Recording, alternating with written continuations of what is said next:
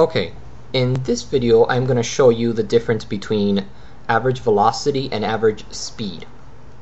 Okay, so uh, average velocity is the change in displacement over the change in time and average speed is the change in distance over the change in time okay? This, the formulas are the same if you notice they're the same exact formulas. The only difference is the definition and how you apply them to a problem. So for example a displacement is the distance between two points. But it's not just that it's also displacement is the shortest distance between two points. So for example if I have one point here and one point here um, the displacement is the shortest distance between two, these two points which would be a line. Now in real life uh, let's say you're driving down the street. Sometimes you have trees in the ways and you have roads right? So if I want to get from this point to this point I have to travel uh, around the tree and then onto that point. So the distance would actually be all of this. This is the distance. And this here is the displacement. So the displacement is the shortest distance between two points. You have to be careful how you use these uh, definitions because if you notice the formulas are exactly the same. Okay. For average velocity, I use a vector here at the top to represent that it is velocity. And when it comes to speed, I use the absolute values to indicate that we only want the magnitude and not the direction. So um, I don't want to confuse you. I want to just go ahead and start doing one problem so you can see how these definitions apply.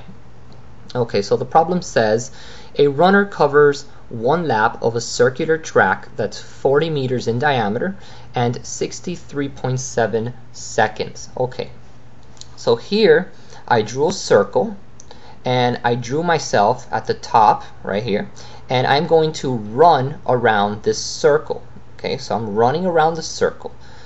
And the first thing that I notice is that the circular has a the circle has a diameter of 40 meters. Okay so I am going to draw the diameter. This is the diameter of the circle. It's 40 meters. Okay that's the first piece of information. And the second piece of information is that I run one lap in 63.8 seven seconds. Okay, so let's use, uh, well, let's read what the questions are. The first question says, what was her average speed? Well, in this case, um, I'm the one that's running, so it should be his average speed. But anyway, pretend this is a girl. Okay, let me put some long hair here. There we go. Okay, so this is a girl. She's running around the circle. What was her average speed? Okay, so we're going to use the average speed formula and plug some values in and see what we get. So it says that average speed is the distance over time. Okay, so the distance is how much uh, how much distance this girl travels around the circle.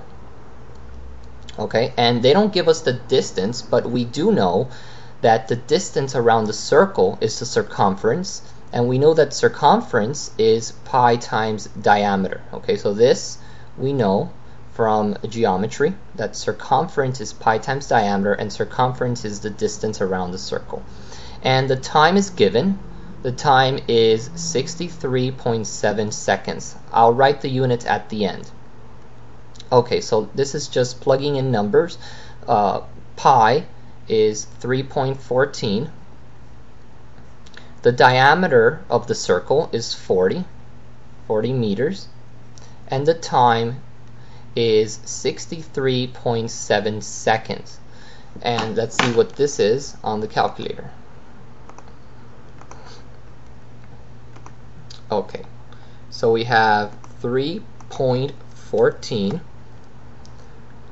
times 40. Okay, and then I'm gonna get that number and divide it by 63.7 oops.